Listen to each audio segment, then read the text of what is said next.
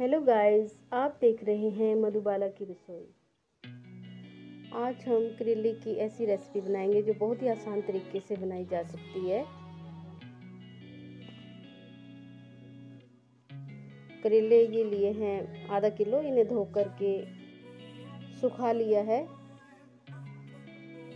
तीन प्याज लेंगे। और ये तीन टमाटर।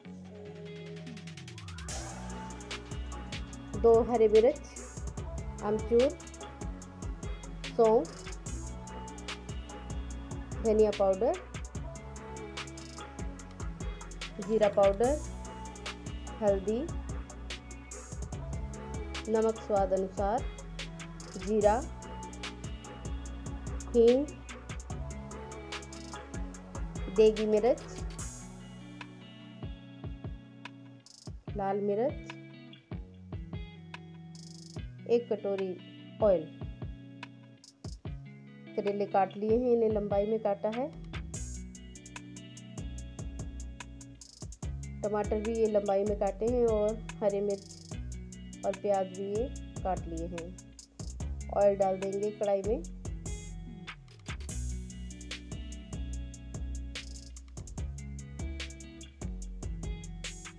ऑयल अच्छे से गर्म हो जाए वेट करेंगे।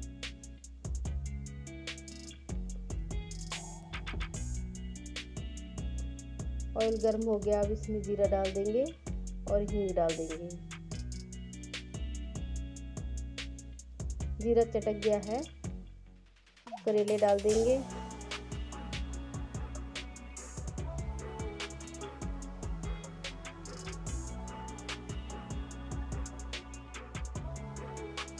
टमाटर भी डाल देंगे साथ में ही।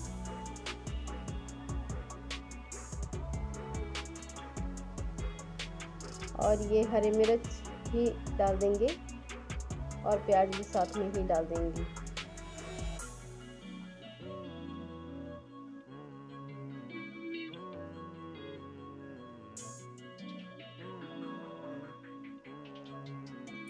अब इसे मिक्स कर लेंगे अच्छे से।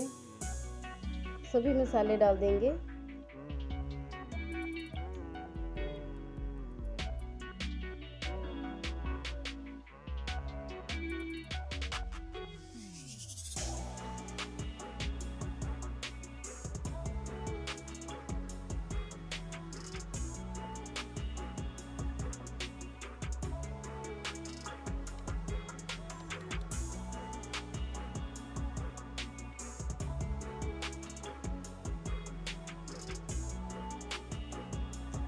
अब मिक्स कर देंगे अच्छे से।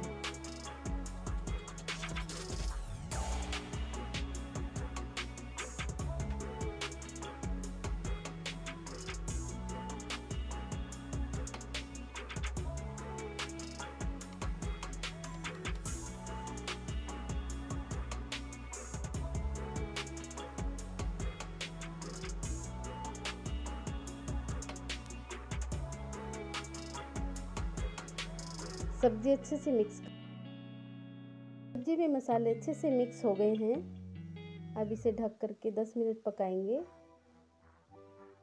अब चेक कर लेंगे। करेला सब्ज़ी अच्छे से फ्राई हुई है। अच्छे से चला के देखेंगे।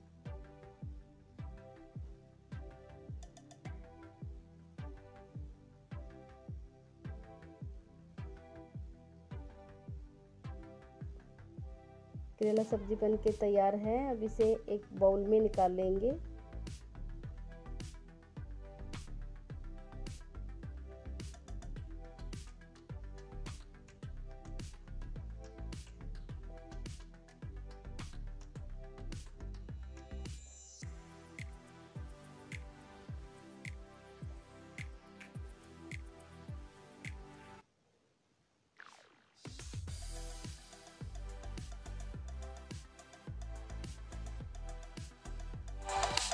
करेला सब्ज़ी बनके तैयार है।